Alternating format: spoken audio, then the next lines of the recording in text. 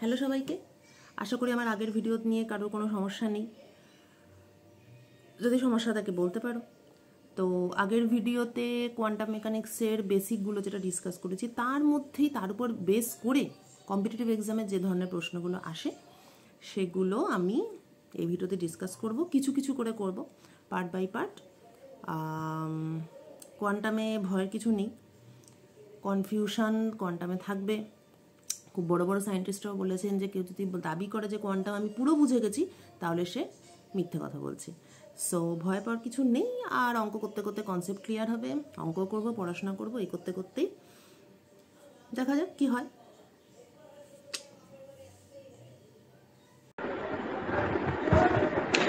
তো আমাদের আগের ক্লাসে আমি ডিসকাস করেছিলাম যে কোয়ান্টাম মেকানিক্সের বেসিক্স ঠিক আছে মানে বেসিক কোন কোন জায়গাগুলো থেকে কোয়ান্টাম ফিজিক্সের মানে কোয়ান্টাম ফিজিক্সের থিওরিটার যে বেসিক ম্যাথমেটিক্স সেই জায়গাগুলো আমি ডিসকাস করেছিলাম এবং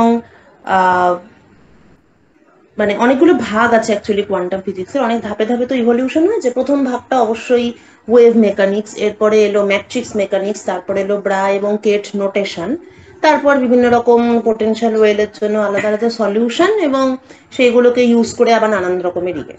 তো কোয়ান্টাম ফিজিক্সের যেটা শুরুর দিকটা, সেই জায়গাটাকে সুন্দরভাবে সামারাইজ করা যায় এবং কতগুলো পার্টে ভাগ করা যায়।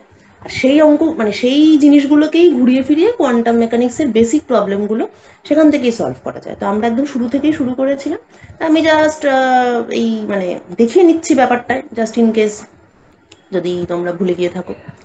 তো প্রথম শুরুবাদ অবশ্যই ওয়েভ ফাংশন যেটা পজিশন এবং টাইমের ফাংশন থ্রি ডাইমেনশনে আর ভেক্টর ওয়ান ডাইমেনশনে এক্সটি তারপর আসবে time dependent Schrodinger's equation time dependent Schrodinger's ইকুয়েশনকে সলভ করতে হলে এটা যেহেতু একটা পার্শিয়াল ডিফারেন্সিয়াল ইকুয়েশন সেই জন্য এটাকে আমরা সেপারেশন অফ ভেরিয়েবলস মেথডে সলভ করব। অর্থাৎ এখানে দুটো ভেরিয়েবল আছে এক্স এবং টি তাহলে এটাকে এরকম একটা প্রোডাক্ট ধরবো। একটা এক্সের ফাংশন একটা টাইমের ফাংশন তারপর সেটা সলভ করে এগুলো তো তোমরা জানো। টাইমের যে পার্টটা সেটা এরকম একটা সলিউশন বেরোবে। টাইম ইন্ডিপেন্ডেন্ট এবার পজিশনের যে পার্টটা সেটা সলিউশন এক্ষুনি বেরোবে না, কারণ সেটা সলিউশনটা ডিপেন্ড করবে ভি এক্সের উপর। এই জায়গাটা খুব ইম্পর্টেন্ট ডিফারেন্ট ভি এক্সের জন্য আমরা ডিফারেন্ট সাই এক্স পাবো। ডিফারেন্ট পোটেন্সিয়াল এনার্জির জন্য আমরা ডিফারেন্ট ওয়েভ ফাংশন পাবো। এই জিনিসটা অবশ্যই ক্লাসিক্যাল ফিজিক্সের সঙ্গে মানে ওখান মানে সামঞ্জস্য আছে মানে সামঞ্জস্য থাকতেই হবে, কারণ ক্লাসিক্যাল ফিজিক্স আমাদের রিয়েল লাইফকে ফলো করে তৈরি মানে থিওরিটা ক্লাসিক্যাল ফিজিক্স আমরা জানি কি যে একটা বস্তু এক জায়গা থেকে অন্য জায়গায় যাবে, কীভাবে যাবে, কোন পথে যাবে ইত্যাদি, কিসের উপর ডিপেন্ড করবে না ফোর্সের উপর। কোয়ান্টাম ফিজিক্স আমরা কি দেখছি? যে একটা পার্টিকেলের যে সময়ের সাথে সাথে যে পরিবর্তন সব কিছুর অবস্থান পজিশন ভেলোসিটি অ্যাক্সিলারেশন সেটা আমরা ওয়েভ ফাংশন থেকে জানতে পারছি। আর ওয়েভ ফাংশনটা ডিপেন্ড করছে কার উপর? না ভিএক্স অর্থাৎ পোটেনশিয়াল এনার্জির উপর।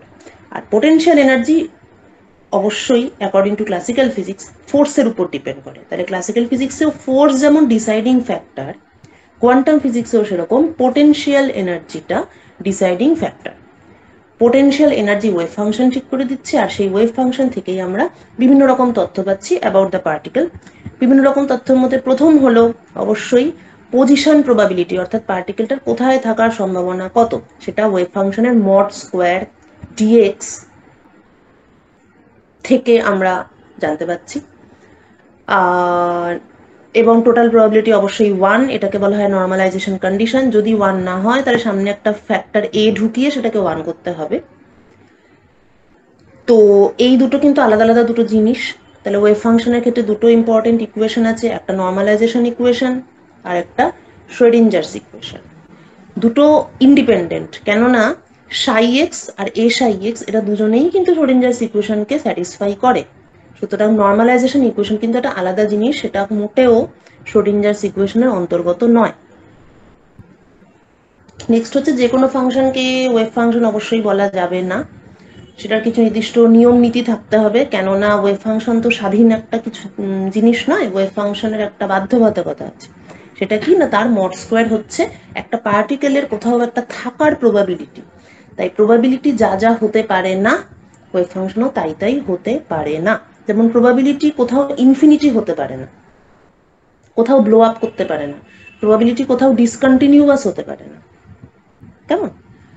সুতরাং ওয়েভ ফাংশনও কোথাও ব্লো আপ করতে পারে না এটা কোথাও ডিসকন্টিনিউয়াস হতে পারে না। কারণ প্রবাবিলিটি একটা চান্স একটা কোথাও থাকার একটা একটা মানুষের বা একটা পার্টিকেলের একটা কোথাও থাকার চান্স তো সেটা অবশ্যই কন্টিনিউয়াস হতে হবে। সেটা তো কখনো ডিসকন্টিনিউয়াস হতে পারে না যে আমি বাদিক থেকে অ্যাপ্রোচ করছি পার্টিকেলকে একটা জায়গায় পাবো আর ডান দিক থেকে অ্যাপ্রোচ করলে আমি অন্য জায়গায় পাবো। এটা তো বাস্তবসম্মত নয়।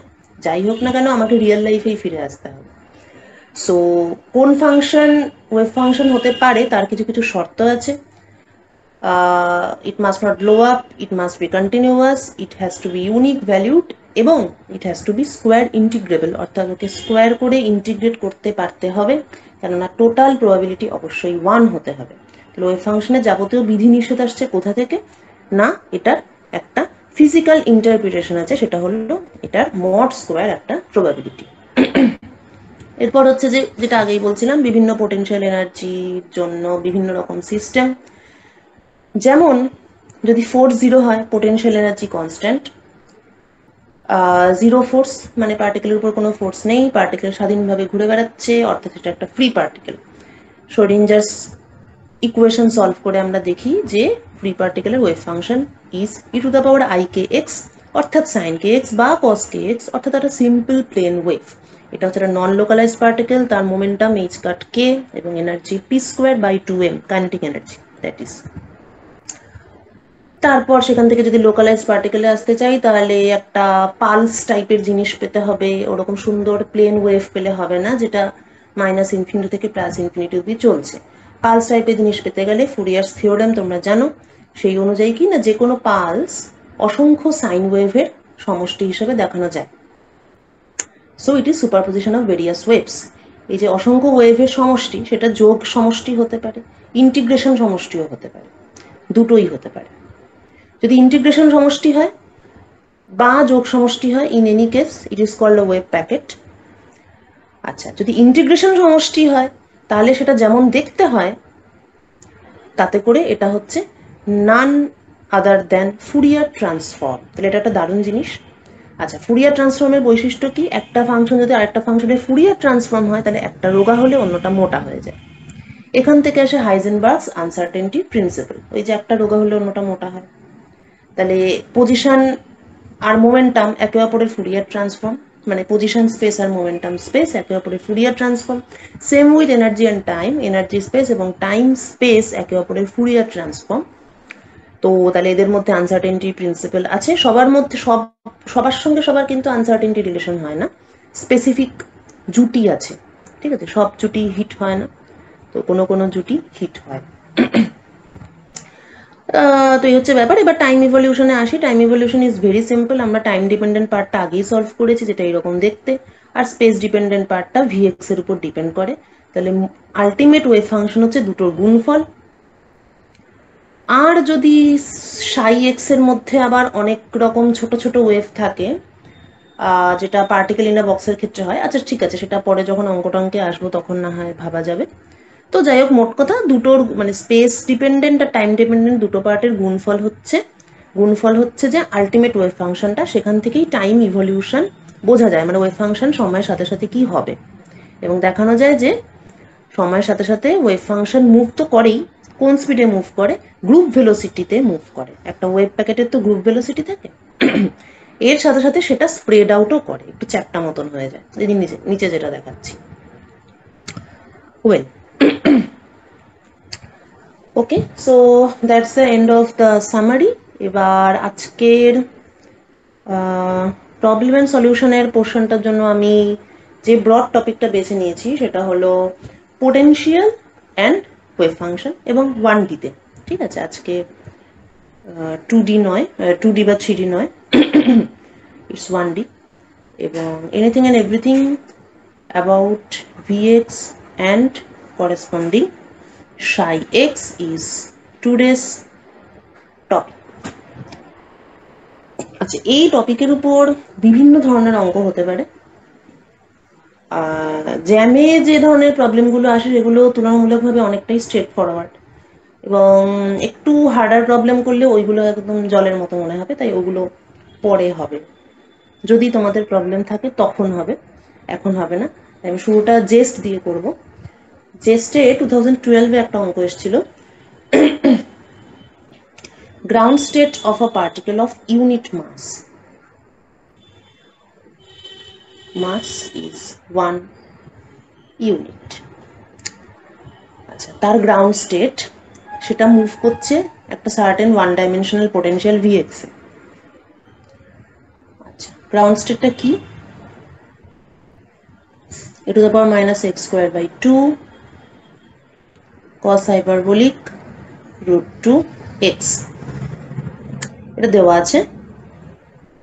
vx বার করতে বলেছে, ধরে নিতে বলেছে h ইকুয়াল টু ওয়ান এটা ন্যাচারাল ইউনিটস মানে একটু অঙ্কের বা দেখার সুবিধার জন্য অনেক সময় এইচ কাট এম সি এদের সবাইকে ওয়ান ধরে নেওয়া হয়। তো কীভাবে বার করব? It is very simple it is all about psi x and V x psi x V x দিয়ে একটাই মাত্র জিনিস আমরা জানি সেটা হলো time independent Schrodinger's equation minus h cut square by two m আচ্ছা এটা এইচ কাট হবে হ্যাঁ? এইচ কাট ওয়ান আচ্ছা minus h cut square by two m d two psi d x two plus bx psi x equal to e psi x okay আচ্ছা লক্ষণীয় হলো এখানে যে সাই এক্সটা আমাদের দিয়েছে, সেটার মধ্যে কোনো টাইম নেই মানে it is not psi x t okay it is not psi x t যদি সাই এক্স টি দেওয়া থাকতো, অর্থাৎ এর মধ্যে যদি টাইম থাকতো, তাহলে কিন্তু আমরা time dependent Schrodinger's equation use করতাম। অর্থাৎ plus p x equal to i h del psi del t right কিন্তু যেহেতু এখানে টাইম নেই, তাই আমরা time independent Schrodinger's equation use করছি। আচ্ছা next it is very simple এবং অবশ্যই ক্যালকুলেশনটা আমি করব না। এই সাই এক্সকে এখানে বসিয়ে দিতে হবে, দুবার ডেরিভেটিভ করতে হবে। এখানেও সাই এক্স বসিয়ে দিতে হবে। এখানেও সাই এক্স বসিয়ে দিতে হবে। পুরো জিনিসটাকে সলভ করতে হবে, করলে সেখান থেকে ভিএক্স চলে আসবে। ওকে ফাইনাল অ্যান্সারের মধ্যে কিন্তু এনার্জিটা থাকবে। আর এম আর এইচ কার তো ওয়ান বলে দিয়েছে। তাহলে ফাইনাল অ্যান্সারের মধ্যে এনার্জি থাকবে। ওকে বাকিটা অপশনগুলো দেখে ম্যানেজ করতে হবে। ইন জেনারেল এই ধরনের প্রবলেমে হয় এনার্জি সম্পর্কে কিছু বলে দেওয়া থাকবে। আর না হলে অ্যান্সারের মধ্যে এনার্জি থাকে। ঠিক আছে? আর যদি দেখা যায় অ্যান্সারের মধ্যে এনার্জি নেই, তাহলে একটা বিশেষ ধরনের বাউন্ডারি কন্ডিশন ইউজ করতে হবে। সেটা হচ্ছে এই যে basically any sort of potential goes to zero as x tends to infinity ঠিক আছে, সুতরাং এখানে ভিএক্সটা এই প্রবলেমে ধরা যাক ভিএক্স সলভ করে পাওয়া গেল কোনো একটা এক্সের ফাংশন প্লাস ধরা যাক h cut square alpha by two m এরকম কিছু একটা পাওয়া গেল। আমি তর্কের ক্ষেত্রে ধরে নিচ্ছি, এই এফএক্সটা হয়তো সলভ করে পাওয়া গেল সে one by two x square plus h cut square alpha by two m এখান থেকে দেখো ক্লিয়ারলি দেখা যাচ্ছে যে এক্স যদি টেন্স টু ইনফিনিটি হয়, তাহলে V x tends to h cut square alpha by two m হচ্ছে। আচ্ছা এখানে আমি একটা জিনিস মিস করলাম। এটা অনলি ভিএক্স আসবে না মানে এটা মানে ধরা যাক সলভ করে আর কি। ভিএক্স মাইনাস ই এলো। ঠিক আছে? মানে ইটা তো থাকবে। মানে ডেরিভেটিভ ইত্যাদি সমস্ত করার পর ইটা যেহেতু অজানা, তাহলে ইটা থাকবে, তাহলে ভিএক্স মাইনাস ই এই জিনিসটা ইকুয়াল টু এটা পেলাম। রাইট আচ্ছা তাহলে এবার এক্সটেন্স যদি ইনফিনিটি হয়, তাহলে আমরা বেসিক্যালি পাচ্ছি vx minus e equal to h square square alpha by two m এবং এক্স টেন্স টু ইনফিনিটিতে যেহেতু V x goes to zero সুতরাং আমরা পাচ্ছি e equal to minus h square square alpha by two m right তাহলে এইবার এই এনার্জিটাকে এটার মধ্যে ইউজ করে আমরা পোটেনশিয়ালের পোর্শনটা আলাদা করে নিতে পারছি, ঠিক আছে? তবে এটা এগেইন এটা ডিপেন্ড করছে অ্যান্সারের উপর। অ্যান্সারে ই সমিতি ব্যাপারটা দেওয়া থাকতে পারে। বা ই ছাড়াও ব্যাপারটা দেওয়া থাকতে পারে, সেটা আমাদেরকে অপশনস দেখতে হবে। নেক্সট প্রবলেমে যাই। আর এটার ক্ষেত্রে একটা জিনিস হচ্ছে যে ওকে না V x is V x always goes to zero as x tends to infinity এখানে এখানে কোনো কমেন্টস নেই। তবে অন্যরকম কোনো অঙ্ক টঙ্ক পেলে সেটা কমেন্ট বক্সে বলো। আ বল বাউন্সেস অফ আর্থ একটা বল বাউন্স খাচ্ছে। সিম্পল একটা বল ফেলে দিলাম ট্যাপ করে নিচে এসে বাউন্স করে উপরে উঠল solve this problem quantum mechanically assume করতে বলছে যে earth infinitely hard sphere it is very hard sphere অর্থাৎ আর্থের ভেতরে বলটা ঢুকতে পারবে না। এমন যে কোনো রিজিয়ান যার মধ্যে কোনোভাবেই একটা পার্টিকেল ঢুকতে পারে না মিনস সেখানে potential is infinite remember particle in a box potential infinite বলে ওয়েভ ফাংশন সেখানে জিরো কারণ সেখানে কোনো মতেই একটা পার্টিকেল যেতে পারে না। সো ইনফাইনাইটলি হার্ড স্ফিয়ার বলতে এটাই বোঝাচ্ছে। আচ্ছা surface of the earth is origin পৃথিবীর সারফেসে এক্স ইকুয়াল টু জিরো ধরতে বলছে। তাহলে এক্স ইকুয়াল টু জিরোতে পোটেনশিয়াল ইনফাইনাইট অন্যত্র সব জায়গায় লিনিয়ার পোটেনশিয়াল অর্থাৎ V equal to k x okay সুতরাং যদি লিনিয়ার পোটেনশিয়ালই হয়, তার মানে x tends to ইনফিনিটিতেও V x tends to infinity তাহলে এক্স জিরোতে ভি এক্স ইনফিনিটি এক্স ইনফিনিটিতেও ভি এক্স ইনফিনিটি সুতরাং এই দুটো লিমিটে ওয়েভ ফাংশন অবশ্যই জিরো কারণ ইনফাইনাইট পোটেনশিয়াল হলে সেখানে পার্টিকেল যেতে পারে না। নাও দ্য কোয়েশ্চেন ইজ নিচের কোন ওয়েভ ফাংশনটা ফিজিক্যালি অ্যাডমিসিবল চারটে অপশনের মধ্যে যেই অপশনটাতে যেই অপশনটাতে এক্স জিরো আর এক্স ইনফিনিটিতে ওয়েভ ফাংশন জিরো সেটাই হবে আমাদের অ্যান্সার আমরা যদি চারটে অপশনকে একটু লক্ষ্য করি, তাহলে দেখা যাবে যেহেতু কে পজিটিভ এক্স ইনফিনিটিতে এটা ব্লো আপ করবে এক্স জিরোতে এইটা ব্লো আপ করবে এক্স জিরোতে এইটা জিরো না হয়ে এ হবে। তাহলে একমাত্র এইটা হচ্ছে আমাদের এই ক্রাইটেরিয়াটা স্যাটিসফাই করছে।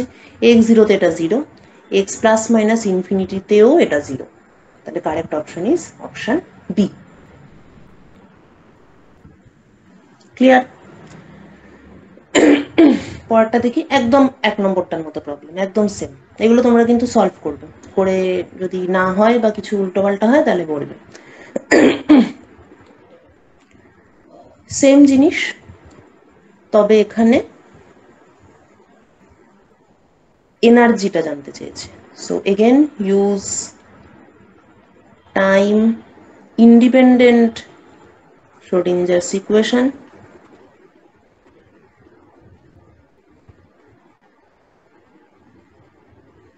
সেখানে এটাকে বসিয়ে দাও।